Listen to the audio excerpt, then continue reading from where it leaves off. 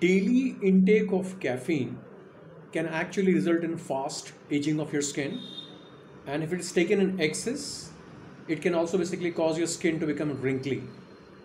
So whether you take cold coffee or you take hot coffee it is very important to keep a check on it uh, that you're not taking it in excess. Because uh, caffeine basically also leads to dehydration which makes your skin dry. Similarly another product uh, i'll say alcohol now many people basically in the western countries who are watching this will not like it because alcohol basically is more or less like a part of the daily uh, meal.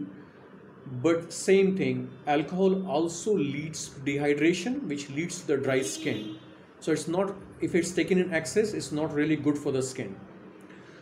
Uh, in addition to caffeine and alcohol i would say the next is uh, processed foods. The processed foods basically like burger chips they are very high in trans fat and trans fat is not really good for the skin. It causes many several dermatological uh, issues.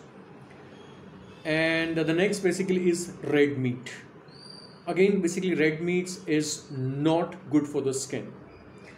Now in addition to all these uh, four things uh, some people basically go for dieting extreme dieting. I would say that it is not really healthy because if your food basically is lacking uh, several nutrients it can actually uh, your skin basically can suffer